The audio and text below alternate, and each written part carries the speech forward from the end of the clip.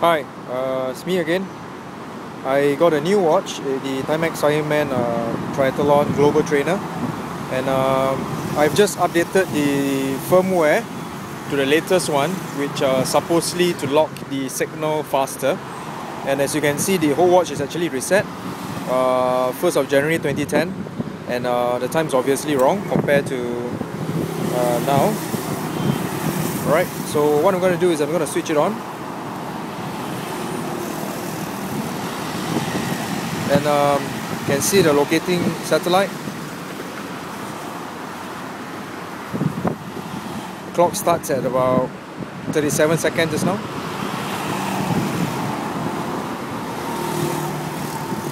See how long it will take to actually uh, do a hot a hot start. I'm actually standing under the under the clear sky as you can see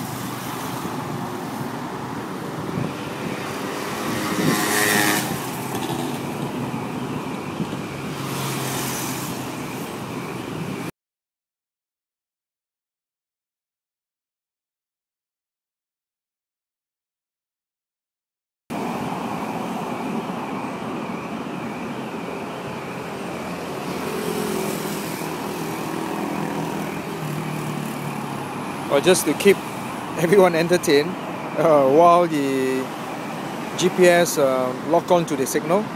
Uh, as a comparison, the Garmin Forerunner 910, oh wow, it's done. The satellite is acquired.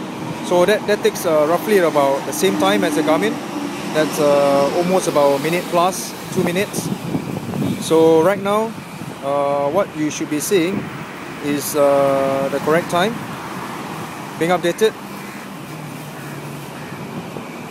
Stand 49 uh, nope. I'll just, let, just have to go and uh, check again